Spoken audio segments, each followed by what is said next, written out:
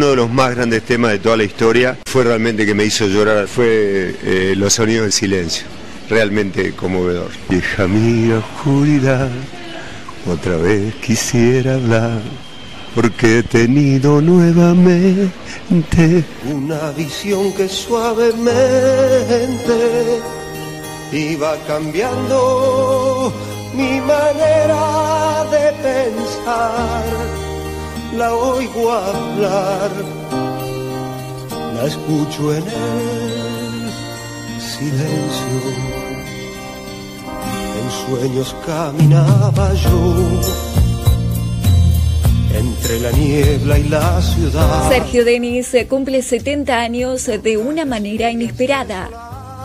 Está internado desde el día lunes en el Hospital Tucumano Ángel Padilla tras caerse en una fosa orquestal de 3 metros mientras daba un show en el Teatro Mercedes Sosa cuando interpretaba la canción Te llamo para despedirme en el momento del accidente. Te llamo para despedirme. El artista nació el 16 de marzo de 1949 en Coronel Suárez, provincia de Buenos Aires, bajo el nombre de Héctor Hoffman. Tiempo después adoptó el artístico con el que se lo conoce a nivel mundial.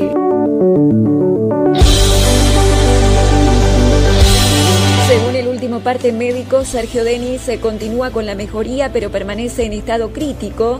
La doctora Olga Fernández, eh, directora del hospital, expresó que el cantante responde adecuadamente a la terapéutica, así lo demuestra el menor requerimiento de oxígeno y fármacos vasoactivos. Se encuentra en asistencia respiratoria mecánica bajo sedonalgesia y persiste con pronóstico reservado.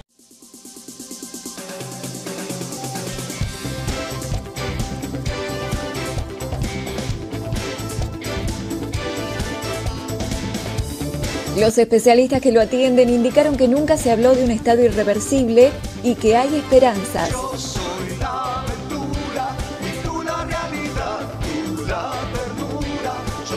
aventura